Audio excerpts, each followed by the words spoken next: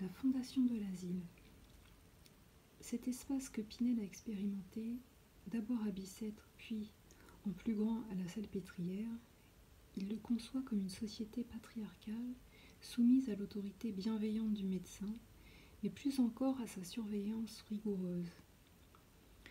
L'ordre est en effet la base de l'observation et du traitement, et entre les deux éditions du traité, qui marque le passage d'une théorie optimiste à une pratique moins utopique, il devient prévalent.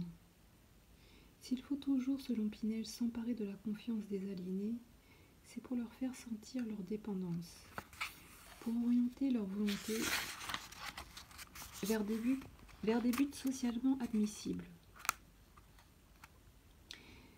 Cette entreprise de socialisation forcée, où l'on a pu voir une préfiguration de l'État totalitaire, suppose une organisation de l'institution asilaire pensée dans ses moindres détails et soumise à un centre général d'autorité. Le travail rythme la vie quotidienne, entrecoupé par des repas, des loisirs, des temps de sommeil minutieusement programmés.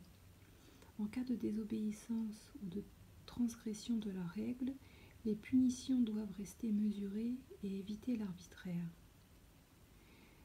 L'élève de Pinel, Esquirol, 1772-1840, complète, précise et généralise l'enseignement du maître. Influencé par le philosophe Laromiguer, il voit dans l'aliénation un trouble de l'attention. Soit que l'attention trop distendue laisse échapper des idées qui sombrent dans l'incohérence, soit que, trop crispée, elle se fixe exagérément sur un objet. Pour détourner l'aliéné de ses préoccupations, pour l'aider à retrouver un ordre dans ses pensées sollicitées à l'excès par les stimulations sociales, Esquirol incite sur la nécessité de l'isolement, dont Pinel faisait déjà un prérequis du traitement. En n'osant pas s'opposer au délirant et en flattant son délire, l'entourage confirme le malade dans ses sentiments de toute puissance. De plus, l'aliéné a tendance à contribuer à ses souffrances, à ses proches et a d'autant moins confiance en eux que les chagrins domestiques sont souvent la cause de l'aliénation. L'isolement rend donc l'association entre la cause et l'effet. Il est à l'origine de sensations nouvelles qui obligent l'aliéné à réfléchir sur son état et, en nouant de nouvelles relations, à s'oublier soi-même pour penser aux autres. En, utilisant ces relations, en donnant un exemple positif ou négatif, les malades les uns aux autres, le médecin, dans un cadre régi par un règlement qu'incarne un personnel étroitement hiérarchisé, peut doser l'isolement et l'adapter à chaque cas en utilisant comme moteur du traitement l'envie qu'a le patient d'y mettre fin en retrouvant les siens.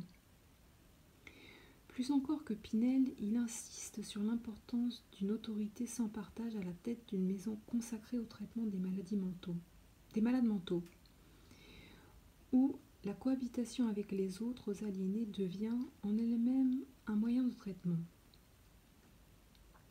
Après avoir créé une maison de santé privée, où il était peut-être possible d'appliquer ces principes, Esquirol, en succédant à Pinel à la Salpêtrière, puis en prenant la direction de Charenton, devra rabattre ses ambitions thérapeutiques. Il devra en particulier composer avec les administrations et accepter que l'asile remplisse un rôle de défense sociale qui ne figurait pas dans son projet initial. Esquirol est, en effet, et Jean-Pierre Falleret à l'origine de la loi du 30 juin 1838 régissant le traitement des malades mentaux et les limitations de leur liberté. Elle prévoit que chaque département se dote d'un établissement où les malades pourront être traités, protégés, mais aussi mis hors d'état de nuire à la société.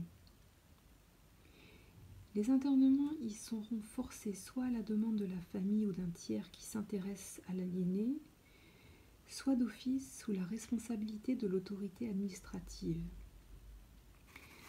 Considéré comme incapable, l'aliéné sera mis sous tutelle et ses biens seront gérés par un service spécialisé.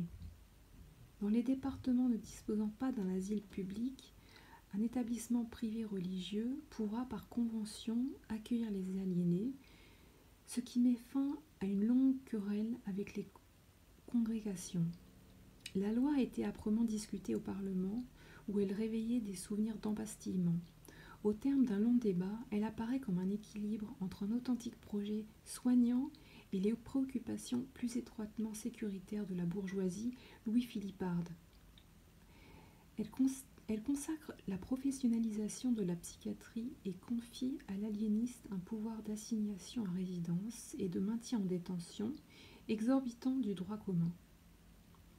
L'article 64 du Code pénal, qui déclare l'aliéné irresponsable, ouvre en outre au psychiatre, devenu expert, un champ supplémentaire d'intervention sociale où il entre en concurrence avec le juge et l'avocat, en obtenant la possibilité de faire échapper à la justice l'auteur d'un crime ou d'un délit.